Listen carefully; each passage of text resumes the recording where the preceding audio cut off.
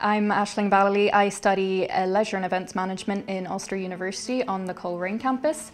I applied for a position in uh, Hastings Hotels, specifically in Europa and Grand Central, and my job title there was HR Administrator, uh, which also encompassed events.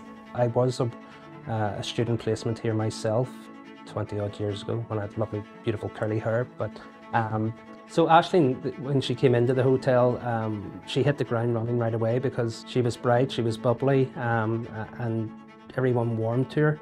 She went through six weeks of intense training, and at that time we were going through a huge change in our IT systems and a huge change in the processes, and she was tasked then with looking after payroll um, for the six hotels. Uh, and she was so enthusiastic about it, uh, and, and she was able to do it uh, on her own, which we were blown away with. So what first attracted me to um, a work placement was uh, getting hands-on experience um, that you wouldn't get in a lecture hall.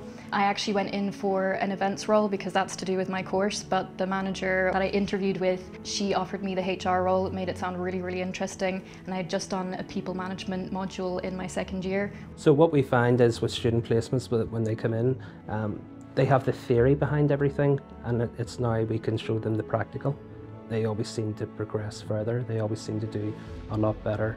While she was working in human resources, she also assisted in the conference and banqueting. On any given day, we could be serving up to 2,000 dinners at functions, so she got a bit of experience at that. And then when it was Miss Northern Ireland, she was able to get involved in that event and, and work um, quite closely with the, the events team. Uh, and because of that, there she got Employee of the Month. It was such a good experience. I gained so much confidence doing this because I was talking to people all day, every day, um, but it was a multitude of people. It was low-level workers, um, senior managers and directors. So it, it, made me feel really valued in the company. I didn't feel like a student or like a placement. There are so many different good aspects about it, but work-wise, my manager, I absolutely loved her. She's the best manager I've had. She taught me so many different things. She has the widest knowledge of this industry that I've ever seen and I aspire to be something like her. What we look for in student placements is someone that's firstly engaged um, and shows a bit of passion and, and wants to be there uh, because we're willing to develop them so we expect that they want to be developed. A lot of them haven't worked in the industry before so we can mould them, we can develop them. We spend a lot of money in training and development and we teach them our ways and our systems and our procedures. And then hopefully when they graduate, they come back into the industry and back into our company. Because I was talking with all these professional people in the industry like the managing director and I got to work on something with the chairman of the whole company, it really motivated me to, to work really hard in my final year so I could get the top grade that I could and get into a, a really good job. I'm more confident in taking on more responsibilities and leading and delegating tasks. I'm now my course rep and I feel really confident in standing in front of my whole class or the first year class, second year class and um, asking or talking to them about anything.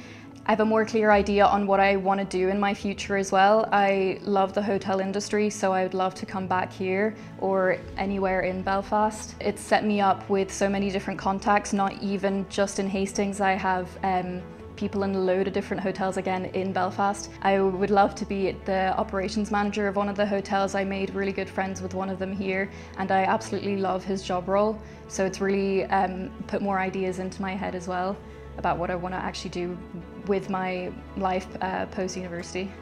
It's an invaluable experience. Your lecturers have gotten all the information for you, made it into a pretty package and sent it to your university email so all you have to do is read the job description and they've told you how to apply as well. So why not jump in, take the opportunity um, and go for it.